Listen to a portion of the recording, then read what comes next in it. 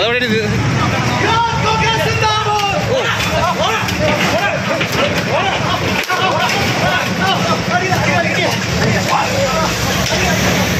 ഡ്യൂട്ടിയിലുണ്ടായിരുന്ന പോലീസുകാർ നിയന്ത്രിച്ച പ്രതിഷേധക്കാരെ വളഞ്ഞിട്ട് തല്ലിയ സ്വന്തം ഗൺമാന്മാരെ ന്യായീകരിക്കുകയായിരുന്നു ആഭ്യന്തര വകുപ്പ് കൈയാളുന്ന മുഖ്യമന്ത്രി ആദ്യം മുതൽ ചെയ്തത്.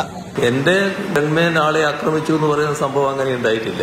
ഞങ്ങൾ സഞ്ചരിക്കുന്ന ബസിന്റെ മുന്നിലേക്ക് ചാടി വന്നവരെ അവിടെയുള്ള യൂണിഫോം ഇട്ട പോലീസുകാർ തടയുന്നുണ്ടായിരുന്നു.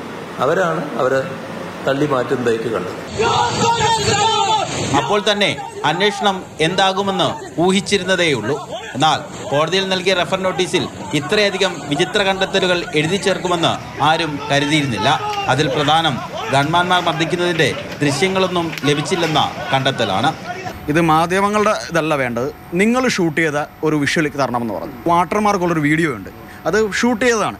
അപ്പോൾ ആ വിഷ്വൽ കൊണ്ട് കൊടുത്താൽ പറഞ്ഞു അത് നിങ്ങൾ ഷൂട്ട് ചെയ്തതല്ല അത് വേറെ ആൾ ഷൂട്ട് ചെയ്തതല്ല നിങ്ങൾ ഷൂട്ട് ചെയ്ത് വിഷ്വൽ തരണം എന്ന് പറഞ്ഞു. ഞാൻ പറഞ്ഞു സാറേ ഞാൻ അടികൊണ്ട് കിടക്കുമ്പോൾ ഞാനും തോമസും എങ്ങനെയാണ് ഇത് ഷൂട്ട് ചെയ്യാൻ പറ്റുക? എന്നാൽ ദൃശ്യങ്ങളിലില്ലാത്ത പല കാര്യങ്ങൾ സംഭവിച്ചെന്നും ജില്ലാ ക്രൈംബ്രാഞ്ച് ഡിവൈഎസ്പി കോടതിയിൽ സമർപ്പിച്ച റിപ്പോർട്ടിലുണ്ട്. നവകേരള ബസ് വഴിയിൽ തടഞ്ഞിട്ടു വാഹനത്തിലടിച്ചു. തടയാനെത്തിയ പോലീസുകാരെ കയ്യേറ്റം ചെയ്തെന്നുമൊക്കെ ഡിവൈഎസ്പി മാസങ്ങളെടുത്ത് നടത്തിയ അന്വേഷണത്തിലൂടെ കണ്ടെത്തിയിട്ടുണ്ട്. ഞങ്ങൾക്കുണ്ടായ ശാരീരിക ബുദ്ധിമുട്ടുകളല്ല ഞങ്ങളുടെ പ്രശ്നം. ഈ രാജ്യത്ത് അഭിപ്രായം പറയുവാനും പ്രതിഷേധിക്കുവാനുമുള്ള സ്വാതന്ത്ര്യം ഓരോ പൗരനുമുണ്ട്. ആ സ്വാതന്ത്ര്യം സംരക്ഷിക്കുക എന്നത് മാത്രമാണ് ഞങ്ങളിതിൽ ഉദ്ദേശിക്കുന്നത്. പോലീസ് കോടതിയെ തെറ്റിദ്ധരിപ്പിക്കുകയാണെന്ന് കോൺഗ്രസ് ആരോപിച്ചു. ഇത്ര നഗ്നമായിട്ടുള്ള അക്രമം നടന്നിട്ടും ആ അക്രമത്തെ ഒരു കൂസലുമില്ലാതെ എഴുതി തള്ളാൻ എങ്ങനെ പോലീസിന് ധൈര്യം വന്നു? ഇതെന്ത് പോലീസാണ്? കേസ് ഈ മാസം പതിനേഴാം തീയതി പരിഗണിക്കുമ്പോൾ യൂത്ത് കോൺഗ്രസ് പ്രവർത്തകർ തടസ്സ ഹർജി ഫയൽ ചെയ്യും.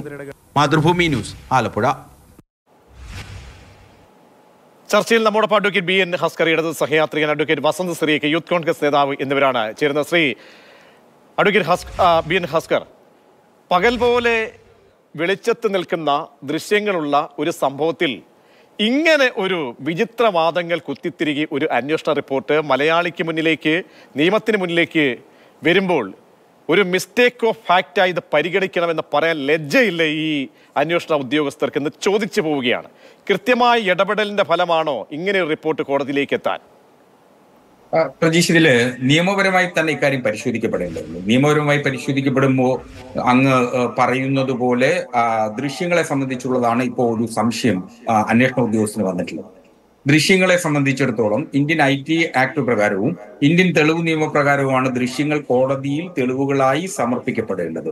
അപ്പോ നിങ്ങൾ മാധ്യമങ്ങൾ ഇപ്പോ ദൃശ്യങ്ങൾ മാധ്യമങ്ങളിലൂടെ മാധ്യമങ്ങളിലൂടെയൊക്കെ നമ്മൾ ധാരാളം അതിനെ സംബന്ധിച്ചുള്ള ദൃശ്യങ്ങൾ കണ്ടിട്ടുണ്ട്.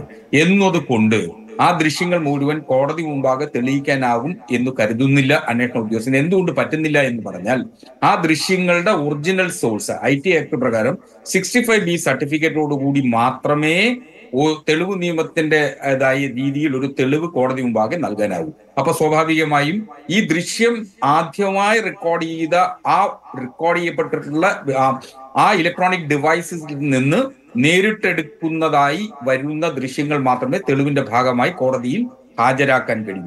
സ്വാഭാവികമായി ഇത് ഇതെങ്ങനെ ഹാജരാക്കണം? സർ ആരാണ് ഹാജരാക്കേണ്ടത്? ആരാണോ റെക്കോർഡ് ചെയ്യപ്പെട്ടിട്ടുള്ളത്? നിങ്ങൾക്ക് ലഭിച്ചിട്ടുള്ള ദൃശ്യം ആരുടെ കൈവശമാണ് ആരുടെ ഡിവൈസിൽ നിന്ന് റെക്കോർഡ് ചെയ്തോ? ആ റെക്കോർഡ് സംഘം അന്വേഷിച്ചോ? ഇത് ആരുടെ ഡിവൈസിലാണ് എവിടെയാണ് ഇത് ഉള്ളത് എന്ന് അന്വേഷിച്ചോ? അല്ല നിശ്ചയമായ അന്വേഷണ ഉദ്യോഗസ്ഥ അന്വേഷിച്ചിട്ടുണ്ടാവുമല്ലോ കൈവശമുള്ള റിപ്പോർട്ടുണ്ട് റിപ്പോർട്ടിൽ ഏറ്റവും അവസാനം അവസാനം ഈ ക്രോഡീകരിച്ചിരിക്കുന്ന റിപ്പോർട്ടിൽ അല്ലല്ല ഞാൻ പറയട്ടെ ഞാൻ പറയട്ടെ. ആ വഴിക്ക് ഈ അന്വേഷണ ഉദ്യോഗസ്ഥൻ നീങ്ങിയിട്ടില്ല സാർ. ഏത് ഡിവൈസ് ആണ്? അങ്ങേക്കറിയുമോ ഏത് ഡിവൈസിൽ നിന്നാണ് അത് റെക്കോർഡ് ചെയ്തിട്ടുള്ളതെന്ന്? എന്ത് വിചിത്രമായിട്ടുള്ള ന്യായമാണ് സാർ അങ്ങ് അങ്ങ് പറയുന്നത് എന്ത് എത്രയോ കേസുകളിൽ സി സി ടി വി ദൃശ്യങ്ങൾ പല പല സി സി ടി വി ദൃശ്യങ്ങൾ ഉള്ള കൈകാര്യം ചെയ്ത് കേസിന്റെ ഭാഗമാക്കുന്ന ഇവിടെ. അങ്ങ് ഈ മുഖ്യമന്ത്രിയുടെ വഴിയെ വരല്ലേ ആ വാക്ക് ഉപയോഗിക്കില്ലേ കാരണം ഞാൻ ചൊന്ന് ചോദിച്ചോളട്ടെ. ഈ അന്വേഷണ ഉദ്യോഗസ്ഥൻ പറയുകയാണ് ഈ സംഭവത്തിൽ ആവലാതിക്കാരം പകർത്തണമായിരുന്നു എന്ന ദൃശ്യം. ഒന്ന് ആ എന്ത് എന്ത് ലജ്ജാകരമാണ്. അടി കൊണ്ടിരിക്കുന്ന ആൾ അടി കൊള്ളുന്നവൻ ക്യാമറയുമായിട്ട് ഇങ്ങനെ പോയി ആ മേളിലും മേല മേലാസകലം അടിച്ച് തല്ലിച്ചതയ്ക്കുമ്പോൾ ക്യാമറ പിടിക്കണമെന്ന് പറയാൻ എന്ത് ലജ്ജയാണ്? ഒരു ലോജിക്ക് വേണ്ടേ സാറേ?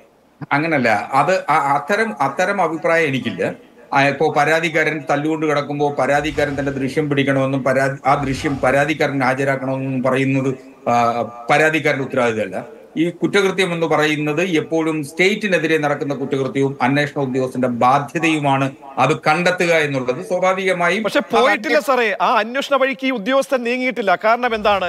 നമ്മുടെ മുഖ്യമന്ത്രി രക്ഷാപ്രവർത്തനം എന്ന് വിശേഷിപ്പിച്ച ഞാനൊന്നും കണ്ടില്ലേ എന്ന് മുഖ്യമന്ത്രി പലതവണ അന്നത്തെ നവകേരള സദസ്സുമായി ബന്ധപ്പെട്ട യാത്രകളിൽ ഓരോ ദിവസവും മാധ്യമപ്രവർത്തകരുടെ മുന്നിൽ വന്ന് മുഖമടച്ച് ഇങ്ങനെ അടമൻ സ്റ്റാൻഡ് എടുക്കുമ്പോൾ പിന്നെ ഈ ഡിവൈഎസ്പി എന്ന ഉദ്യോഗസ്ഥൻ ചലിക്കുമോ സാറേ? കേരളത്തിൽ അങ്ങനെ സംഭവിക്കുമോ ഇന്നത്തെ സ്ഥിതിയിൽ? ഇതിൽ നമ്മൾ വളരെ പ്രതീക്ഷിക്കുന്നതായിട്ട് കാണേണ്ട മറ്റൊരു കാര്യമുണ്ട്.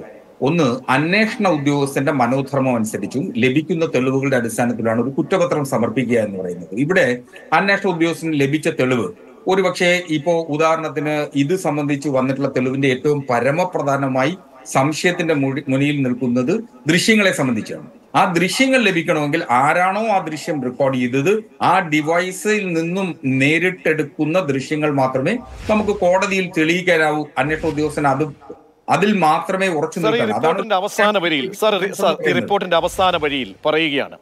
കേരള മുഖ്യമന്ത്രി സുമര സുരക്ഷാ ചുമതല വഹിച്ചിരുന്ന ഈ പറയുന്ന പ്രസ്തുത വ്യക്തികൾ. അവർ ഈ അവരുടെ ഭാഗത്തു നിന്നും കൃത്യമായ രീതിയിൽ ഉത്തമ ബോധ്യത്തോടു കൂടിയാണ് പറയുന്നത്. യാഥാർത്ഥ്യങ്ങളെ മറച്ചു വെക്കുകയാണ്. അവർ കൃത്യനിർവഹണം മാത്രമാണ് നിർവഹിച്ചിട്ടുള്ളത് എന്ന് ഒരു ഡിവൈഎസ്പി ഒരു അന്വേഷണ റിപ്പോർട്ട് തയ്യാറാക്കുമ്പോൾ അദ്ദേഹം ഏത് വഴിക്ക് സഞ്ചരിച്ചു? അദ്ദേഹം സഞ്ചരിച്ചിട്ടില്ല സാറേ. ഈ ദൃശ്യം എന്ന പ്രധാനപ്പെട്ട തെളിവിലൂടെ അദ്ദേഹം പോയിട്ടില്ല. അല്ല നിങ്ങൾ നിങ്ങളെ സംബന്ധിച്ച് മർദ്ദിച്ചു എന്നുള്ളതാണ് നിങ്ങളുടെ പ്രശ്നം. നിങ്ങൾക്ക് പ്രശ്നമല്ല. സ്റ്റേറ്റിന്റെ പ്രശ്നമാണ്. സ്റ്റേറ്റിന്റെ പ്രശ്നമാണ്. അല്ല സ്റ്റേറ്റിന്റെ പ്രശ്നം അതല്ല സ്റ്റേറ്റിന്റെ പ്രശ്നം എന്ന് വെച്ച് കഴിഞ്ഞാൽ മുഖ്യമന്ത്രിക്ക് സ്റ്റേറ്റിന്റെ പ്രശ്നം മുഖ്യമന്ത്രിക്ക് സുരക്ഷ ഒരുക്കുന്ന പരമപ്രധാനമാണെന്നറിയാം അതിനപ്പുറത്തേക്ക് അപായപ്പെടുത്തുന്നതിന് വേണ്ടി അല്ലല്ല അപായ അല്ല സാറേ ഒരു കരിങ്കൊടി പ്രതിഷേധമാണിത്. അത് അവിടെയാണ് ദൃശ്യങ്ങളെ നിങ്ങൾ കണ്ണടച്ച് ഇരട്ടാക്കരുത് എന്ന് പറയുന്നത്. അങ്ങനെയെങ്കിൽ ഒരു എഫ്ഐആർ ഇവർക്കെതിരെ ഇടണ്ടായിരുന്നു. അങ്ങനെയുണ്ടെങ്കിൽ ദ്രുതഗതിയിൽ ഒരു അന്വേഷണം പ്രഖ്യാപിക്കേണ്ടായിരുന്നു. അങ്ങനല്ല. പലപ്പോഴും പോലീസിന് പോലീസ് നടത്തിയിട്ടുള്ള ക്രൂരമായ പ്രവൃത്തികളെ ന്യായീകരിക്കുകയല്ല ഈ ഘട്ടത്തിൽ ഞാൻ ചെയ്യാൻ ആഗ്രഹിക്കുന്നത്. മറിച്ച് ഇതിലെ തെളിവിന്റെ പ്രശ്നമാണ് നിങ്ങൾ ഉന്നയിക്കുന്നത്. തെളിവുകളുടെ അഭാവത്തിലാണ് ആ റഫർ റിപ്പോർട്ട് കൊടുത്തത്. രണ്ട് ഇതിലെ പേഴ്സണൽ സെക്യൂരിറ്റി ഓഫീസേഴ്സ് മുഖ്യമന്ത്രിക്കാണെങ്കിലും അതുപോലെ തന്നെ കേരള സംസ്ഥാനത്തെ വിവിധ മഹത് വ്യക്തികൾക്ക് പോലീസ് സംരക്ഷണം നൽകുന്നുണ്ട്. അവരുടെ പരമപ്രധാനമായിട്ടുള്ള ഉത്തരവാദിത്വം എന്ന് പറയുന്നത് ആ വ്യക്തിയുടെ ജീവൻ സംരക്ഷിക്കുക ആ വ്യക്തിയെ സംരക്ഷിക്കുക എന്നുള്ളതാണ് പേഴ്സണൽ സെക്യൂരിറ്റി ഓഫീസറുടെ ഉത്തരവാദിത്വം. അപ്പോ ആ വ്യക്തിക്ക് നേരെ മുഖ്യമന്ത്രിക്ക് നേരെ ഏതെങ്കിലും തരത്തിലുള്ള അക്രമം ഉണ്ടായാൽ അദ്ദേഹത്തിന്റെ നമ്മൾ സംസാരിച്ചുകൊണ്ടിരിക്കുമ്പോഴും അല്ല അങ്ങ് സംസാരിച്ചുകൊണ്ടിരിക്കുമ്പോഴും അടുത്ത ക്യാമറ അടുത്ത നമ്മുടെ ഫ്രെയിമിൽ നമ്മൾ കാണിക്കുന്നത് ആ ദിവസം ഉണ്ടായിട്ടുള്ള അക്രമ ദൃശ്യങ്ങൾ അത് സെറ്റിട്ടതാണെന്ന് അങ്ങ് പറയാത്തത് അത്ഭുതമാണ്. അതിൽ ആ സംഭവ ആ ദൃശ്യങ്ങളിൽ ആദ്യം മുതൽ ഞാൻ പറയുന്ന ഒരു കാര്യമുണ്ട്. ഒരുപക്ഷെ മുഖ്യമന്ത്രിയുടെ പേഴ്സണൽ സെക്യൂരിറ്റി ഓഫീസേഴ്സ് അതിര് കിടക്കാൻ പാടില്ല. ഒരു വസ്തുത തന്നെയാണതിൽ. പക്ഷേ മുഖ്യം അതിൽ അന്വേഷണ ഉദ്യോഗസ്ഥന്റെ കണ്ടെത്തലുകളുണ്ടല്ലോ. മുഖ്യമന്ത്രി സഞ്ചരിച്ചിരുന്ന നവകേരള ബസ്സിലടക്കം ആക്രമിക്കുന്ന സ്ഥിതിവിശേഷം ഉണ്ടായി അത് ദൃശ്യങ്ങളിലില്ലല്ലോ. അപ്പൊ ആ ദൃശ്യങ്ങളുടെ മുഴുവൻ വിവരങ്ങൾ ലഭിക്കുന്നതിനു വേണ്ടി അന്വേഷണ ഉദ്യോഗസ്ഥൻ ഒരുപക്ഷെ പരാമർശമായി പോലും വരുന്നില്ല. ഇത് വെള്ളരിക്ക പട്ടണമല്ല ഈ പൊട്ടന്മാരല്ല കേരളത്തിലെ ആളുകൾ ഈ ടെലിവിഷൻ ദിവസവും കാണുന്ന ആളുകൾ അവർക്കൊക്കെ വിവര ചിന്താശേഷി ഉള്ളവരാണ്. ഞാനൊന്ന് പറഞ്ഞുകൊള്ളട്ടെ ഇത്രയും കാണുന്ന ഈ ദൃശ്യങ്ങളുണ്ടല്ലോ കാണിച്ചുകൊണ്ടേയിരിക്കുകയാണ് ഡേറ്റ് സഹിതമിട്ട്. ഈ അന്വേഷണ ഉദ്യോഗസ്ഥർ പറയുന്ന ഒരു മെയിൽ അയച്ചു കൊടുത്തു. അതിന് മറുപടി എല്ലാ ദൃശ്യമാധ്യമങ്ങളും അന്വേഷണവുമായി സഹകരിക്കുന്നവരാണ്. ഇത്രയും ദൃശ്യങ്ങൾ അത് റിപ്പോർട്ട് ചെയ്യാമെങ്കിൽ ഏതൊരു റിപ്പോർട്ടർ ഞങ്ങളുടെ ആലപ്പുഴയുടെ ഞങ്ങളുടെ റിപ്പോർട്ടർ രഘു രഘുവിനോട് ആവശ്യപ്പെടാം. അല്ലെങ്കിൽ ഞങ്ങളുടെ ബോണിയും തോമസിന്റെ ക്യാമറയിൽ പതിഞ്ഞതാണ്. അങ്ങനെ ഓരോ ക്യാ- ക്യാമറമാനും ഓരോ സ്ഥാപനങ്ങളെ സമീപിച്ചു കഴിഞ്ഞാൽ കിട്ടും. വളരെ എളുപ്പമാണ് ദൃശ്യങ്ങൾ. അതുപോരാതെ ഈ പരാതിക്കാരൻ പെൻഡ്രൈവുമായി സമീപിച്ചു. ഇതാണ് സാർ ഇതാണ് തെളിവ്. അപ്പോൾ കമ എന്ന് അവനെ തിരിച്ച് വായിക്കുകയാണ്. നീ തന്നെ എടുക്കണമായിരുന്നു അടികൊള്ളുന്നവൻ അപ്പോൾ ഈ ജനങ്ങളെ ഇങ്ങനെ വിട്ടികളാക്കല്ലേ പ്രതീക്ഷ നിങ്ങളിപ്പോ കരുന്ന പോലെ ഒരു പെൻഡ്രൈവിൽ ഒരു ദൃശ്യം കൊണ്ട് കൊടുത്താൽ അത് തെളിവായിട്ട് സ്വീകരിക്കാൻ കഴിയില്ല. അത് തെളിവ് നിയമത്തെ കുറിച്ച് നിങ്ങൾക്ക് അറിയാത്തത് കൊണ്ട് പറയുന്നതാണ്. അത് തെളിവായി ഞാൻ ചോദിക്കട്ടെ ഒരു ദൃശ്യവും ഒരു ദൃശ്യവും ഒരു തെളിവായിട്ടും സ്വീകരിക്കപ്പെടാൻ കഴിയില്ലേ? സെൻസിറ്റീവ് ആയിട്ടുള്ള കേസുകളിൽ. ഒരു എന്റെ അറിവോട് അറിവോട് ചോദിക്കുകയാണ്. ഒരു ദൃശ്യങ്ങളും ഒരു ദൃശ്യങ്ങളും അല്ല അല്ലല്ല ഏത് ക്രൈം നടന്നാലും അവിടെ റെക്കോർഡ് ചെയ്യപ്പെടുന്ന ഒരു ദൃശ്യവും ഒരു അന്വേഷണ ഉദ്യോഗസ്ഥനും ഗൗരവമായിട്ട് സ്വീകരിക്കാറില്ല. ദൃശ്യം സ്വീകരിക്കണമെങ്കിൽ ആ ദൃശ്യത്തിന്റെ ഒതന്റിസിറ്റി ഒതന്റിസിറ്റി കോടതി മുമ്പാകെ തെളിയിക്കണം. ആ ഒതന്റിസിറ്റി ട്രയലിന്റെ ഘട്ടത്തിലല്ലേ അത്? ട്രയൽ വരട്ടെ. ട്രയൽ അല്ലല്ലോ നടക്കുന്നത്. ട്രയൽ വരട്ടെ സാറേ. ഒരു റഫർ റിപ്പോർട്ട് റഫർ റിപ്പോർട്ടല്ലേ ഇപ്പൊ കൊടുത്തിട്ടുള്ളൂ. അതൊരു പ്രോസസ് മാത്രമാണ് തെളിവുണ്ടെങ്കിൽ വീണ്ടും കോടതിക്ക് ആ കേസ് എടുക്കാമല്ലോ കോടതി കേസ് എടുക്കുമല്ലോ സംശയം ഇപ്പൊ നിലവിൽ ആ- ആ അന്വേഷണ ഉദ്യോഗസ്ഥൻ നടത്തിയ അന്വേഷണത്തിൽ തെളിവുകൾ ലഭിച്ചില്ല. അതിനെ തർക്കിക്കുന്നതിനാണ് പ്രൊട്ടസ്റ്റ് കംപ്ലൈന്റ് അടക്കം കൊടുക്കുന്നതിനുള്ള അവകാശം ഈ കേസിലെ വാദികൾക്കുണ്ട്. അവർ കേസ് പ്രൊട്ടസ്റ്റ് കംപ്ലൈന്റ് കൊടുക്കട്ടെന്നേ. കോടതിയിൽ ആ തെളിവുകൾ ഹാജരാക്കട്ടെന്നേ. അതിനുശേഷം ഈ ഈ അപ്പോ ഈ പ്രതികൾക്കെതിരെ പാ- അടിയും കൊണ്ട് ജീവച്ഛവമായി കിടക്കുന്നവരെ ഷൂട്ട് ചെയ്ത് അതും കൂടെ എന്തൊരു ഞാൻ അങ്ങയിലേക്ക് മടങ്ങിയെത്താം ശ്രീ ശ്രീ വസന്ത് അഡ്വക്കേറ്റ് വസന്ത് സ്ത്രീക്ക് വസന്ത് സ്ത്രീക്ക് അഡ്വക്കേറ്റ് ബി എൻ ഹസ്കർ ഇതുവരെ പറഞ്ഞ കാര്യങ്ങൾ കേൾക്കുമ്പോൾ അങ്ങേക്ക് എന്താണ് തോന്നുന്നത്? അല്ല അദ്ദേഹം ഒരുപാട് കാലങ്ങളായി ഞങ്ങൾ ഒരുമിച്ച് ചർച്ചയിൽ ഇരിക്കുന്നവരാണ് ഞാൻ മനസ്സിലാക്കിയത് അദ്ദേഹം വളരെ പരിജ്ഞാനമുള്ള നിയമപരിജ്ഞാനമുള്ള ഒരു വ്യക്തിയാണ് എന്നാണ്. ഞാൻ അദ്ദേഹത്തെ വ്യക്തിപരമായി അധിക്ഷേപിക്കുന്നില്ല. എങ്കിൽ പോലും എവിഡൻസ് ആക്ട് ഒക്കെ നമ്മളും പഠിക്കുന്നതാണ്. നമ്മളും ഇതൊക്കെ പഠിച്ചിട്ട് തന്നെയാണ് പ്രാക്ടീസ് ചെയ്യുന്നത്. സാർ നോക്കൂ കേരളത്തിൽ പതിനഞ്ചോളം ദൃശ്യമാധ്യമങ്ങളുണ്ട്. അവരുടെ എല്ലാം ക്യാമറ കണ്ണുകൾ അവിടെ ഉണ്ടായിരുന്നു. പോരാത്തതിന് മുഖ്യമന്ത്രിയുടെ പേഴ്സണൽ സെക്യൂരിറ്റി ഫോഴ്സിന്റെ ക്യാമറ. നിങ്ങളുടെ സോഷ്യൽ മീഡിയ ഹാൻഡിലിന്റെ ക്യാമറ നിങ്ങൾ കൊണ്ടുവന്ന് മ്യൂസിയത്തിൽ വെക്കുമെന്ന് പറഞ്ഞ ബസ്സിലെ ക്യാമറ. ഒന്നും പോരാഞ്ഞിട്ട് മുമ്പിൽ ഇരുന്ന് ഞാൻ ഇത് കണ്ടു എന്ന് പറയുന്ന മുഖ്യമന്ത്രിയുടെ സാക്ഷ്യമൊഴി ഇതെന്തെങ്കിലും നിങ്ങളുടെ അന്വേഷണ ഉദ്യോഗസ്ഥൻ കോടതിയിൽ ഹാജരാക്കിയിട്ടുണ്ടോ? ഇപ്പോ പ്രിയപ്പെട്ട പ്രജീഷ് പറഞ്ഞില്ലേ മാതൃഭൂമിയുടെ ഈ പറയുന്ന ആല ആലപ്പുഴ ബ്യൂറോയെ നിങ്ങൾ സമീപിച്ചോ? അതൊരു പ്രൈമ ഫേസി എവിഡൻസ് തന്നെയല്ലേ? അദ്ദേഹത്തോട് അത് ചോദിച്ചു നോക്കൂ. ഇനി അതൊന്നും വേണ്ടെന്നേ. നമുക്ക് എല്ലാവർക്കും വിശ്വാസമുള്ള കേരളത്തിൽ സത്യാനന്തര വാർത്തകൾ മാത്രം കൊടുക്കുന്ന സത്യസന്ധമായി കേരളത്തിൽ റിപ്പോർട്ട് ചെയ്യുന്ന നൂറ് ശതമാനം നയൻ വൺ സിക്സ് വാർത്ത വാർത്തകൾ മാത്രം പുറത്തുവിടുന്ന നിങ്ങളുടെ കൈരളിയുടെ ആലപ്പുഴ ബ്യൂറോ ചീഫിന്റെ റിപ്പോർട്ട് എന്തുകൊണ്ടാണ് നിങ്ങൾ എടുക്കാതിരുന്നത്? ആ ക്യാമറാമാൻ പകർത്തിയ ദൃശ്യങ്ങളില്ലേ? അത് ടെലികാസ്റ്റ് ചെയ്തില്ലെങ്കിലും ആ ക്യാമറാമാൻ അവിടെ ഉണ്ടായിരുന്നല്ലോ. നിങ്ങളെ ദേശാഭിമാനി റിപ്പോർട്ടറില്ലേ സത്യം മാത്രം പറയുന്ന ആൾക്കാർ നമുക്കറിയാലോ ഏതൊക്കെ കാര്യങ്ങളിൽ സത്യം പറഞ്ഞവരാണ്? അവരുടെയൊക്കെ എന്തുകൊണ്ടാണ് ക്യാമറ ദൃശ്യങ്ങൾ നിങ്ങൾ എടുക്കാതിരുന്നത്? സ്വാഭാവികമായും ഫോർ എക്സാമ്പിൾ ഈ കേസിൽ മാതൃഭൂമിയുടെ റിപ്പോർട്ടറിന്റെ ക്യാമറയിൽ പതിഞ്ഞിരിക്കുന്ന ദൃശ്യങ്ങൾ പ്രൈമ ഫേസി എവിഡൻസ് ആണ്. അതിന് പ്രത്യേകിച്ച് ഇനിയിപ്പോ ഏതെങ്കിലും ലബോറട്ടറി വിട്ട് പരിശോധിച്ച് അതിന്റെ സിറോഫീസ് എടുക്കേണ്ട കാര്യമൊന്നുമില്ല. അത് അതേപടി കോടതിയിൽ സമർപ്പിക്കാം. അത് കോടതി കൈക്കൊള്ളും. ഇനി അങ്ങ് പറയുന്നത് പോലെ അത് ഈ ടെക്നിക്കൽ എറർ ഉണ്ട്. അല്ലെങ്കിൽ നിയമപരമായ ചില ബാരിയേഴ്സ് ഉണ്ട് എന്ന് തന്നെ ഇരിക്കട്ടെ. സമർപ്പിക്കുന്നതില്ലല്ലോ കോടതിയല്ലേ അത് തള്ളിക്കളയേണ്ടത്? ഇത് സ്വീകരിക്കണമോ വേണ്ടയോ എന്ന് തീരുമാനിക്കേണ്ടത് കോടതിയാണ്. കോടതി അത് തീരുമാനിക്കുന്നതിന് മുമ്പ് നിങ്ങളുടെ പോലീസ് ഏത് പോലീസ്? പ്രതിഷ്ഠയേക്കാൾ വലിയ പ്രതിഷ്ഠാ ഭയമുള്ള പ്രതിഷ്ഠാ സ്നേഹമുള്ള വലിയ നമ്പൂതിരി കളിക്കുന്ന പോലീസ് ഉണ്ടല്ലോ. ആർ എസ് എസിനും സി പി എമ്മിനും ഒരേ സമയത്ത് ഒരേ രീതിയിൽ പണിയെടുത്തു കൊടുക്കുന്ന പോലീസ് ആ പോലീസ് നിങ്ങളെ അങ്ങ് സൂചിപ്പിക്കാൻ വേണ്ടി നിങ്ങളുടെ ആഭ്യന്തര വകുപ്പിന് കുറച്ച് സുഖമുണ്ടാക്കി കൊടുക്കാൻ വേണ്ടി നേരത്തെ അങ്ങ് തീരുമാനിച്ചു കോടതി ഇത് എടുക്കില്ല എന്ന്. ആരാ തീരുമാനിക്കുന്നത്? പിന്നീട് അദ്ദേഹം പറയാണ് വേണമെങ്കിൽ യൂത്ത് കോൺഗ്രസ് പ്രവർത്തകർ കൊണ്ടുപോയി തടസ്സ ഹർജി ഫയൽ ചെയ്യട്ടെ എന്ന്. എങ്കിൽ നിങ്ങൾ ഈ കേസ് എടുക്കണ്ടായിരുന്നല്ലോ. ഞങ്ങൾക്ക് റിട്ട് ഫയൽ ചെയ്താൽ പോരായിരുന്നോ. എത്രയോ സാധ്യതകൾ ഉണ്ടായിരുന്നു ഈ സംസ്ഥാനത്തെ പോലീസ് ആ പോലീസ് ഈ യൂത്ത് കോൺഗ്രസ്സുകാരന്റെ കൂടി പോക്കറ്റിൽ നിന്ന് എടുക്കുന്ന ഖജനാവ് പണത്തിൽ നിന്നാണ് തിന്നു കുടിച്ച് മൃഷ്ടാന്തം വീർത്ത് വീർത്ത് തൃശ്ശൂരിൽ പോയി ആർ എസ് എസ് നേതാവുമായിട്ട് അവിശുദ്ധ ബന്ധം ഉണ്ടാക്കാൻ പോകുന്നത്. അതായത് ശ്രീ വസന്ത ശ്രീക്ക്. നമുക്ക് നമുക്ക് സാധാരണഗതിയിൽ സ്വജനപക്ഷപാതം എന്ന് പറയുമല്ലോ നമ്മൾ പരിധിയിൽ. അത് പല രീതിയിലൊക്കെ നമുക്ക് വരാം അതിനെ വിവക്ഷിക്കാം. ഇവിടെ എന്തായാലും ഇക്കാര്യത്തിൽ ഒരു വ്യക്തത വരുത്തണമായിരുന്നു. കാരണം മുഖ്യമന്ത്രി ഗൺമാനാണ് ഗൺമാൻ എന്തായാലും മുഖ്യമന്ത്രി അടമന്റെ സ്റ്റാൻഡ് ആദ്യം തന്നെ എടുത്തതിന്റെ ആ വഴിക്ക് അന്വേഷണ ഉദ്യോഗസ്ഥർ സഞ്ചരിക്കുകയാണോ. കാരണം ഈ കേസ് അന്വേഷണ ഒരു ഉദ്യോഗസ്ഥൻ മാറി പകരം ഉദ്യോഗസ്ഥൻ വരുന്നു. അപ്പോൾ അതിലൊന്നും ഒരു അത്ഭുതം സംഭവിക്കാനില്ല. ഒരാൾ മാറി വന്നുകൊണ്ടോ ഒന്നും അത്ഭുതം സംഭവിക്കാനൊന്നുമില്ല. പക്ഷേ സ്വീകരിക്കേണ്ട എവിഡൻസുകൾ പറഞ്ഞതുപോലെ തെളിവ് നിയമപ്രകാരം അത് ശേഖരിക്കണമായിരുന്നു. മൊഴി പോലും വേണ്ട രീതിയിൽ ഇത് എടുത്തിട്ടില്ല എന്നുള്ളതാണ് മനസ്സിലാക്കുന്നത്. അപ്പോൾ ആകത്തുകയായിട്ട് എവിടെ നിന്നോ എവിടെ നിന്നോ ഉണ്ടായിട്ടുള്ള ഒരു സമ്മർദ്ദത്തിന്റെയും വിളിച്ചുള്ള കാരണം ഈ മൊഴി എടുക്കാൻ പോലും അല്ലെങ്കിൽ ഇവിടെ സ്റ്റേഷനിലേക്ക് ഈ ഉദ്യോഗസ്ഥന്മാരുടെ പുറകെ നടന്ന ഈ അന്വേഷണ ഉദ്യോഗസ്ഥരുടെ ഗതികേടൊക്കെ ഈ ഗൺമാന്മാരുടെ പവർ നമ്മൾ മനസ്സിലാക്കിയതാണ്. അപ്പോൾ ഇതിനപ്പുറത്തേക്കൊന്നും സംഭവിക്കില്ലല്ലോ. വസന്ത്. അല്ല അത് ശരിയാണ്. നോക്കൂ മുഖ്യമന്ത്രിയും ഒരു മന്ത്രിസഭ മുഴുവൻ സാക്ഷിയായ സംഭവമാണ്. അവരെ വേണേൽ സാക്ഷി ചേർക്കാൻ പറ്റുന്ന അത്തരം സാധ്യതകളുള്ള ഒരു കേസാണ്. പിന്നീട് ഹസ്കറിനോടും സി പി എമ്മിനോടും അവർക്ക് വിടുപണി എന്ന് പോലീസിനോടും ഞങ്ങൾക്ക് പറയാനുള്ളത് ഈ രാജ്യത്തെ നിയമത്തിൽ യൂത്ത് കോൺഗ്രസിന് വിശ്വാസമുണ്ട്.